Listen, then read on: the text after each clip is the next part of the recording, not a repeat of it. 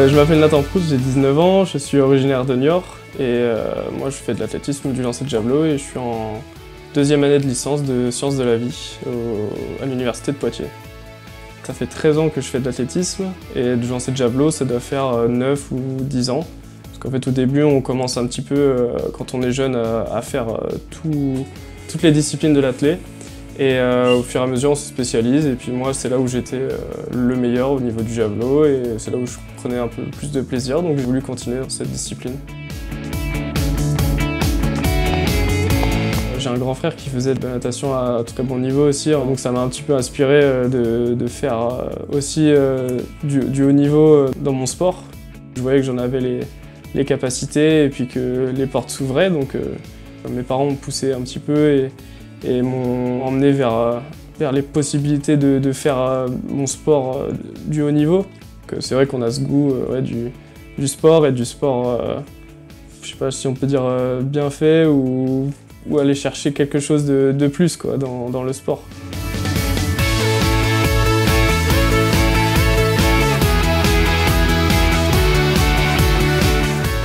Et après, au niveau des, objectifs, bah, moi j'aimerais bien euh, passer des, caps, donc euh, la barre des 70 mètres et pourquoi pas 80 mètres. Et aussi euh, accrocher une sélection en équipe de France, donc représenter la France sur une compétition internationale.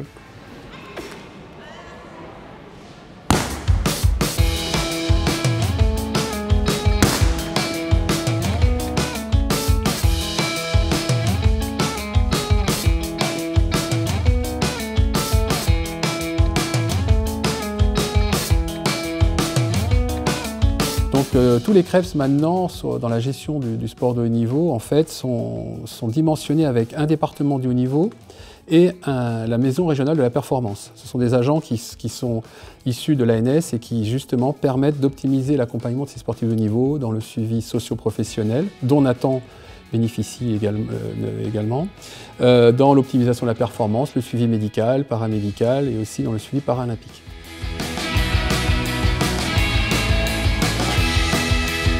Alors Nathan Proust, il vient au Krebs s'entraîner régulièrement depuis plusieurs années euh, à travers donc, le pôle espoir d'athlétisme.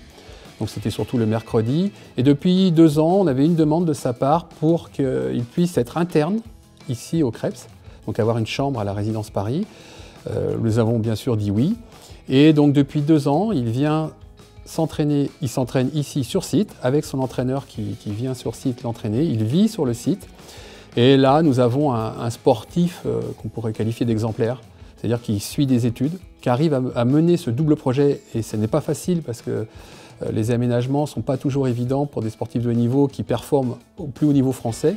Et donc, on a quelqu'un de sérieux qui euh, manage son projet avec les personnes qu'il a choisies autour de lui. Donc, quelqu'un qui sait où il va, comment il va, il connaît ses points forts, ses points faibles, son entraîneur aussi, et ils savent exactement sur quoi travailler, et c'est ce qu'ils font euh, depuis maintenant plus de deux ans euh, ensemble.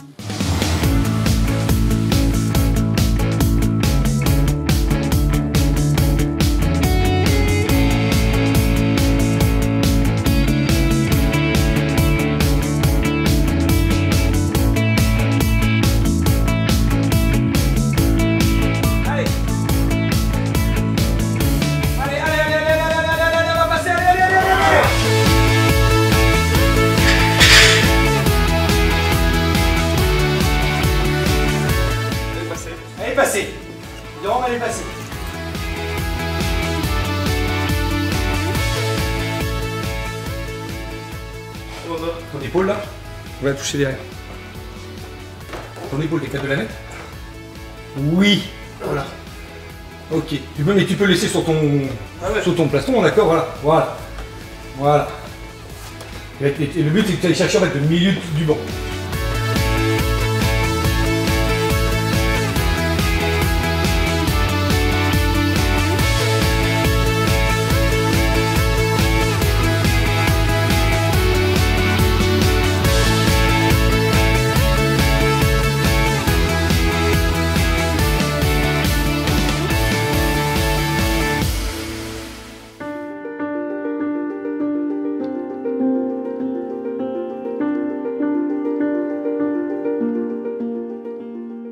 Donc là, on se trouve dans ma chambre du Krebs, dans un, dans, un, bâtiment assez récent et très agréable. Donc on est on est sur un, un, Krebs qui, nous accueille très bien, avec des, très bonnes très bonnes conditions, euh, que ce soit au niveau du, centre médical, euh, le self, euh, tout est vraiment sur place et mis à disposition pour que qu'on soit dans les meilleures conditions. Donc c'est aussi un gain de temps parce que les entraînements ça prend du temps et on n'aurait pas, j'aurais pas spécialement le temps de, de, rentrer, faire, faire les courses, faire à manger, m'entraîner et travailler ensuite. Donc, donc ouais, c'est un, un, réel avantage.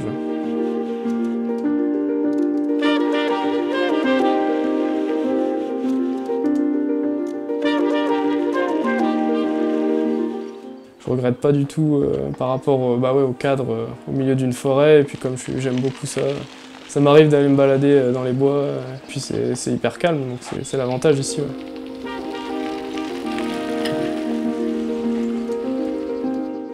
À Poitiers, sur le campus, je suis en deuxième année de licence sciences de la vie. J'ai choisi cette filière parce que je suis assez sensible à tout ce qui est l'environnement, la biologie, donc qu'elle soit animale ou végétale.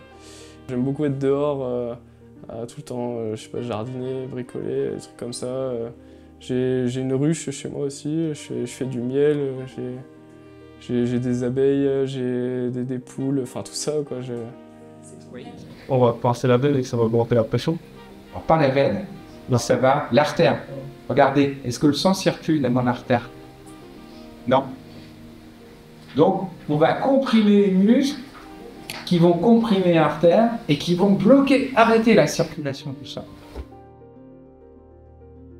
Mais ça ne dispense pas de, de faire le dessin. D'accord? En faisant défiler la, la, la, la coupe. Ouais, vous en avez trouvé? Allez. C'est bien, vous les yeux de la foule. Et euh, plus tard, euh, j'aimerais faire des métiers de, sur l'environnement ou le, végétal, donc euh, c'était la, filière la plus adaptée. Et aussi, ça me permettait d'allier sport et études tous les jours.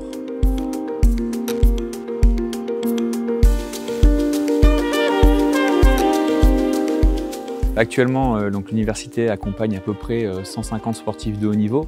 Euh, il y en a à peu près, euh, on va dire, une, petite moitié qui sont sportifs euh, de niveau 1, d'accord, ce qu'on appelle nous à l'université niveau 1, qui sont souvent listés sur liste ministérielle, dont le projet sportif est vraiment numéro 1 et autour duquel on essaye de justement les aider à avoir un projet universitaire cohérent.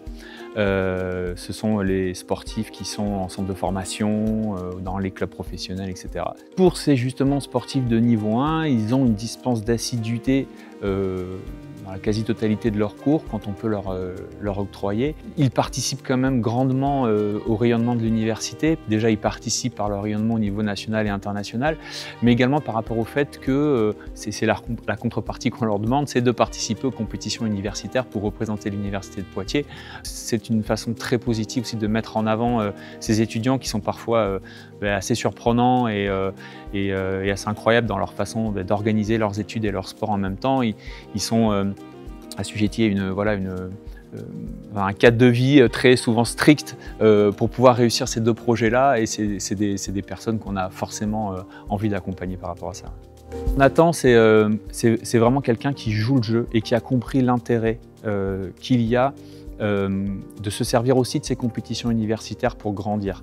Euh, la dernière compétition universitaire euh, auquel il a participé, donc il a, été champion de France cette année de javelot, en a un bel exemple. Il a eu des super résultats. Il joue le jeu avec nous. Il nous aide justement sur la communication sur les sportifs de haut niveau.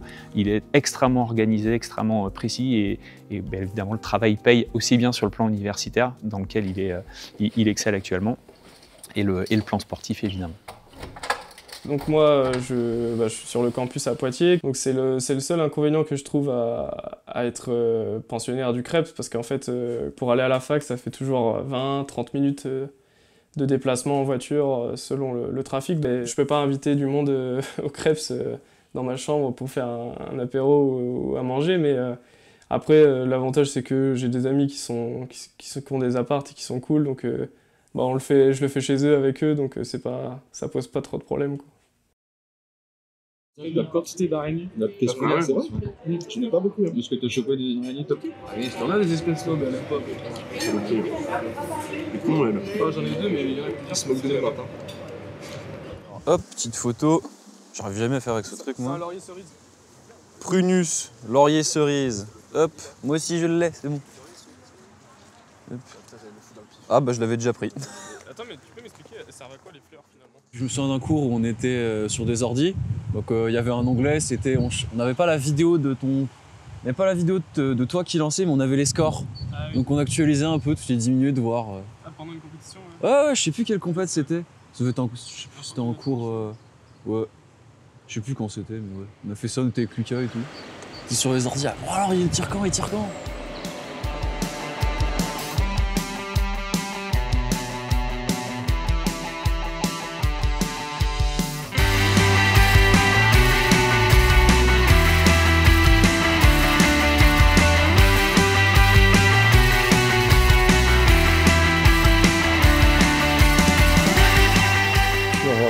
La fac, euh, on a des emplois du temps euh, qui sont assez variables. Donc euh, ça, c'est un petit peu des fois compliqué à gérer avec euh, Luc Ducarrois qui, euh, qui est bénévole, qui m'entraîne tous les jours euh, bénévolement parce qu'il est, il est prof de PS dans la vie de tous les jours.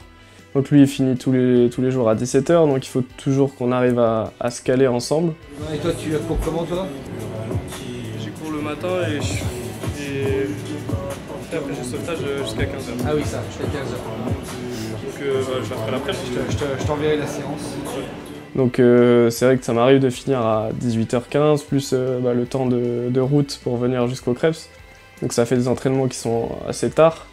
Ouais, après, le, quand je rentre, faut que je me douche. euh, je travaille les cours ensuite, donc ça fait des, des belles journées. Ouais. Avec Luc, bah, on se voit tous les jours et il me l'a déjà dit. euh, il m'a dit, bah, la semaine, je te vois plus que tes parents finalement. Il m'a dit, donc. Mais euh, ouais, c'est vrai que c'est une relation euh, différente et qui est, qui est importante ouais, et qui permet de, bah, de créer d'autres euh, d'autres liens et puis de parler d'autres choses aussi que, que l'athlète en général.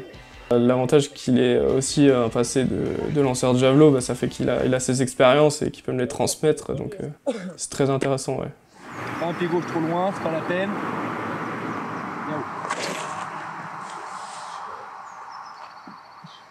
Je te laisse. Je quelques gestes sur- sans élan.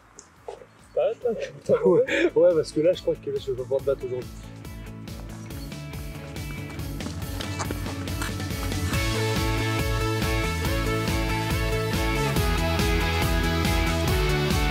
C'est vraiment une chance pour moi de, porter cette flamme euh, à Niort. Ça me, ça me lance dans, on va dire, mon, rêve olympique. Donc euh, là, c'est un premier pas, on va dire, de porter la flamme. Et j'espère euh, dans 4 ans, éventuellement la porter, la porter et être sur le stade à Los Angeles pour les Jeux de 2028.